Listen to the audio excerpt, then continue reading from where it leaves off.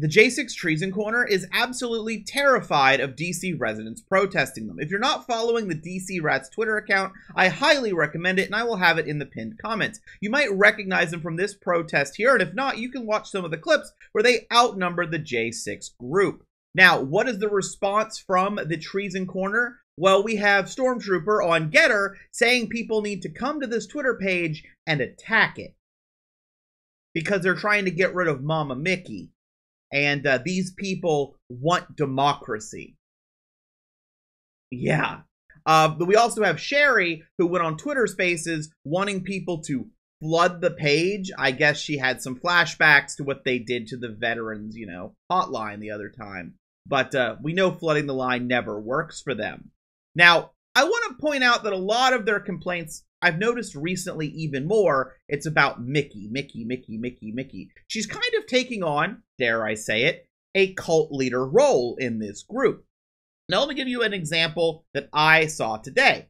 Steve went from saying he doesn't stop to call people demons and then screaming that I'm a demon in less than one minute. Micki walks up and yet another attempt to intimidate me. She did it again in court today. But what I noticed, and I've noticed happening recently in some of the clips of this group, they become a lot more radicalized the moment Micki shows up. It's like they're trying to put on a show for her, make her happy with them. Let's listen. See if you see what I see. You know, you you called me a demon the other day.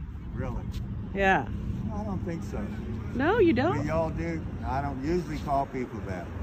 I don't go that low. Yeah, you did. And I can't. I can show it to you on tape. I, I, I could say something like, "You have darkness in your demonic." No, you, you called me a straight up demon and you cursed at me. That's your issue, not mine. What? God help you, though. God help you. God help me. It looks like you're the one who needs help, Steve. Dude, God you're on a of you. corner screaming at people with a don't tread on me half American flag. Don't tread on me, sister. Don't tread on me. Nobody's trying to tread on you. You have less than most people. You should actually be for uh, leftist policies. You're the one who needs the help. I bet you get Social Security, don't you? I bet you get Social Security. You know that's a socialist program, right? Notice how it's picking up. I'm not falsely accusing you of anything. He Micki, looks do over- not touch me or come near me. That's all you do. It's sickening. I can't hear you. See you later. You're Bye. Micki. Try You're not to get too sickening. intoxicated You're before court. sickening. And yeah, since you brought it up, you are full of demons. There you go. Yeah, there you You're go. psycho. Listen to that demon laugh.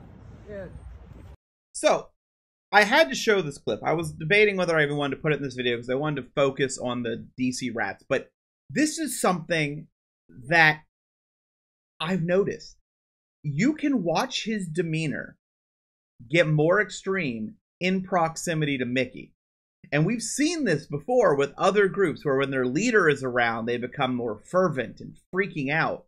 And it kind of makes me wonder when they have like that eagle's nest and things like that where they're all staying together. I thought maybe, you know, just easier to put everyone in one place. But I kind of wonder if they're afraid that if they separate out, there's a little distance, that the group will fall apart because we've seen that too with other groups that as soon as people aren't living with the leader, they suddenly move on. And some of them move to another group with a new leader they can live with.